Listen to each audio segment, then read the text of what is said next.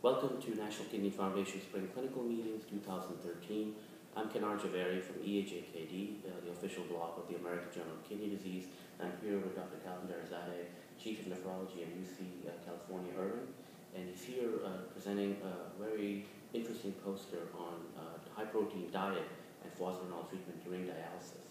Um, can you tell us a little bit about your, your study? Well, thank you very much for the opportunity. Uh, we felt uh, that we need to uh, address the question of the importance of nutritional status and nutritional support in dialysis patients, especially dialysis patients with so-called protein energy wasting, it used to be called malnutrition, including those with low serum albumin.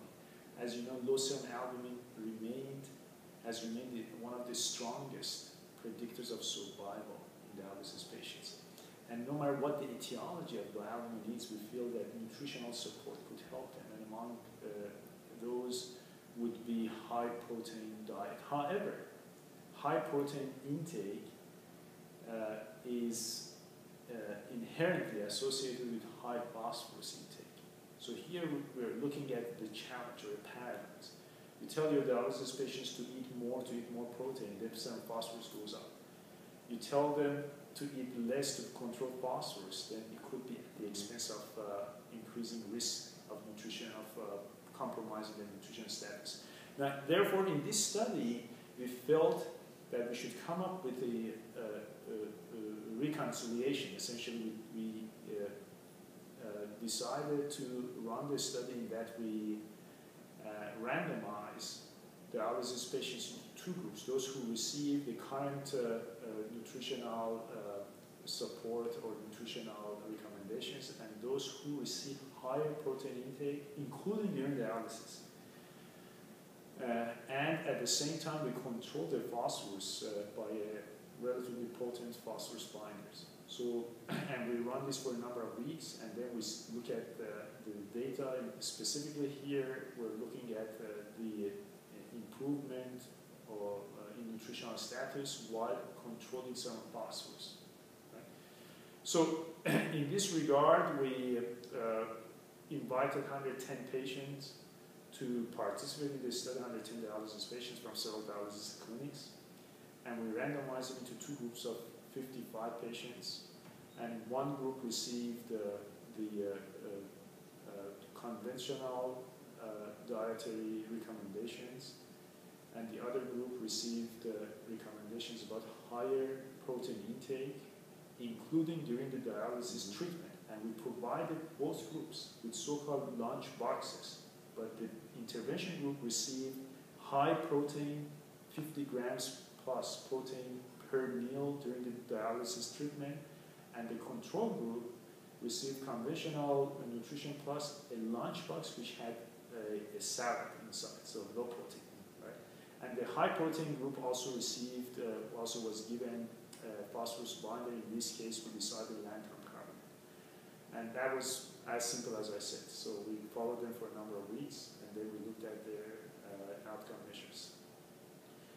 So um, the choice of binders here, um, would you, you, you use lanthanum carbonate, uh, yes. would, would, would these study results hold true if you had chosen PhosLo or uh, yes, the, th thank you for the question. I, I, essentially, why we chose lanthanum carbonate, we, we felt that uh, uh, giving high protein intake uh, is, is, as I said, inherently with high phosphorus intake, and therefore we uh, were concerned with phosphorus control. We wanted to have a phosphorus binder that is known to be potent. So our first choice was uh, aluminum hydroxide, it or not. Uh, then our next one, in terms of potency, with least uh, pill burden, was lanthanum carbonate. Of course, we could have also chosen any other of the binders, but we felt that uh, uh, lanthanum carbonate is not used frequently in those in the dialysis clinics in that area, so it was a uh, also good choice in terms of uh,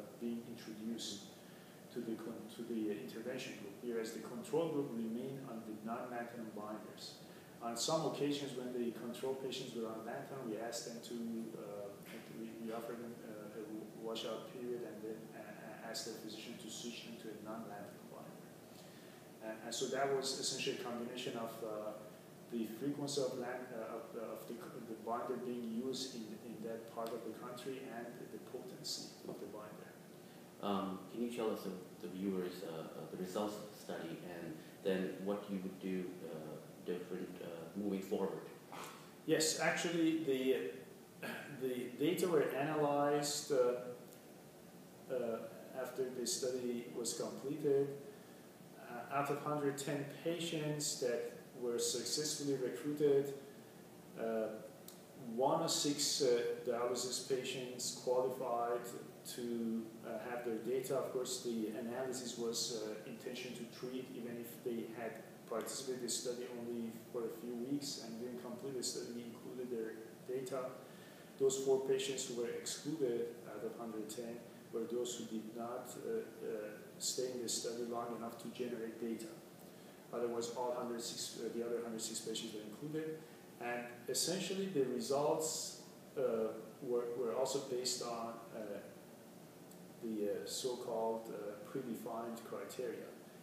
And, and uh, we, we were looking at combined rise in serum albumin while maintaining phosphorus within the target range of 3.5 to 5.5 milligrams per deciliter.